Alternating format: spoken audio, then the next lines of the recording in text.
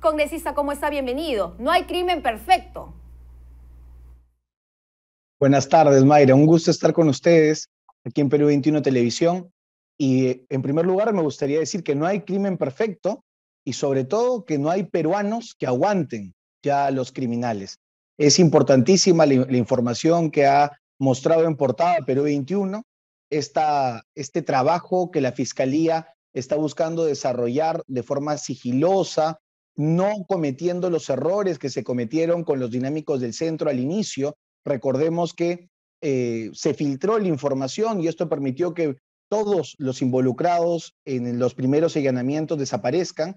Ahora eh, se ha desarrollado una, un grupo de allanamientos en Huancayo, Jauja y Lima que han permitido acceder a lo que se buscaba. Si bien la persona, Juan Carlos Ocaña, eh, todavía está fuera eh, de, custodia policial, sí se ha obtenido material, el material que quería ser borrado eh, por Vladimir Cerrón y por esta mafia de Perú Libre.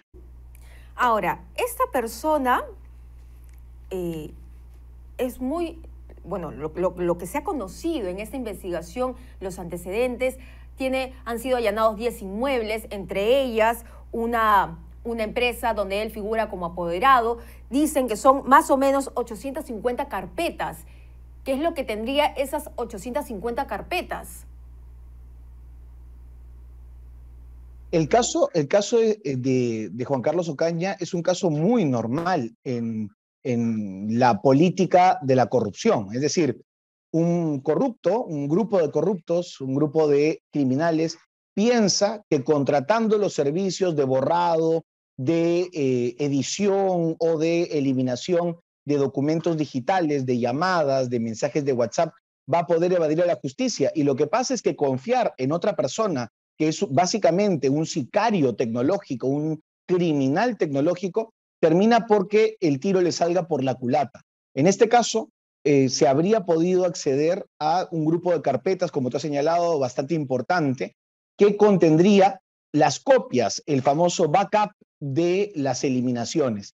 Y lo que ocurre es que los 40 mil soles que eh, este, esta organización criminal Perú Libre habría pagado a Juan Carlos Ocaña, el hacker para la eliminación, eh, no habría sido suficiente para la ambición de este otro criminal.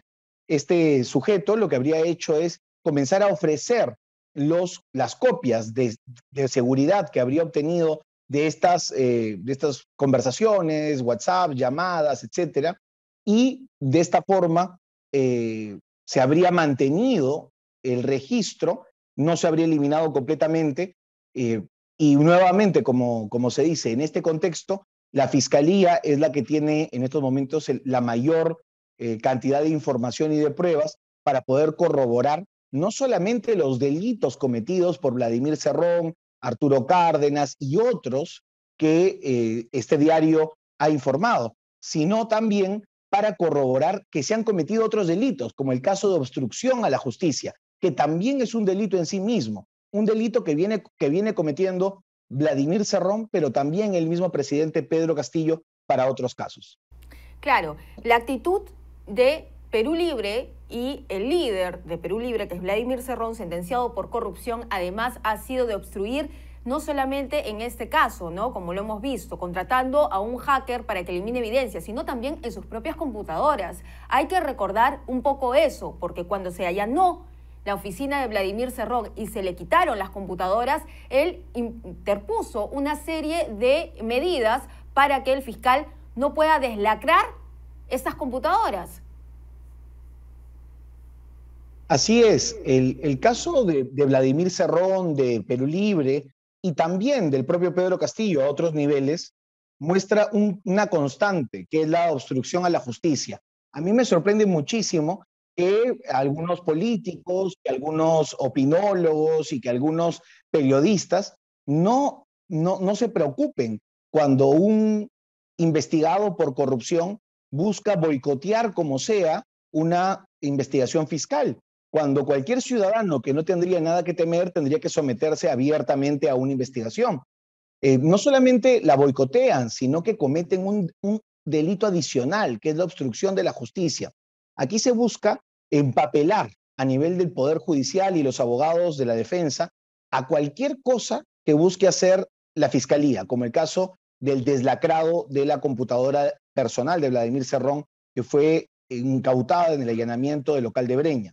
Pero también se busca eliminar cualquier rastro de las transacciones, de los diálogos, del registro de llamadas a nivel digital. Y esto es una situación que ya sobrepasa el caso legal y por eso califica como delito. Tanto así que el día de hoy Juan Carlos Ocaña está no ha habido, es una persona que está desaparecida y que si sería una persona que no tendría nada que temer, habría estado en su, en su hogar dando la cara y respondiendo por cada, una, por cada uno de los actos. Gracias a lo que ocurrió antes, la Fiscalía ya no está repitiendo los mismos errores. De hecho, me comuniqué esta mañana con distintos periodistas y, personas eh, dedicadas a la investigación en la ciudad de Huancayo y confirmaron que esto había sido una situación sorpresa, tanto para el periodismo regional como para los mismos políticos que los había agarrado de sorpresa. Pero este sujeto, eh, Juan Carlos Ocaña, es parte, solo un operador de los tantos que tiene Vladimir Cerrón y Perú Libre para buscar eliminar sus pruebas, para, buscar edulcorar sus delitos. Y aquí hay una situación que no debemos de perder eh, a nivel de análisis más amplio, que todos los caminos eh, consiguen llegar a Pedro Castillo. Es decir, desde el mismo Palacio de Gobierno se está coordinando y gestando el blindaje, la obstrucción a la justicia y también el propio, la propia filtración para que puedan escapar los testigos claves. Esto tenemos que decirlo claramente porque el delito de lavado de activos para el caso de los dinámicos del centro alcanza al presidente de la República. ¿Por qué dice que desde el propio Palacio de Gobierno se está gestando esta obstrucción de la justicia? ¿Por qué? Porque eh, a nivel judicial y a nivel fiscal, en estos momentos, el avance que ha tenido Rafael Vela y otros fiscales habla de una organización criminal, Perú Libre, una organización criminal que habría lavado dinero de la corrupción y de, de otras, de la extorsión y de otros delitos para ser utilizado con fines políticos.